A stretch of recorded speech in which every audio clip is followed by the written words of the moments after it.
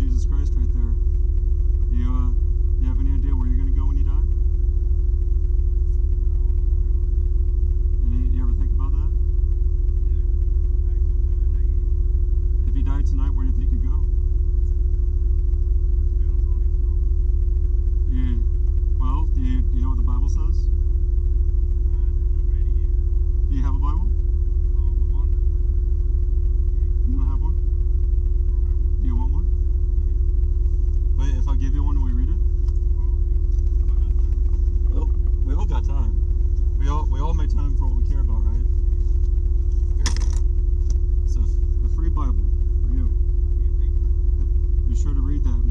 could probably just read the reading that.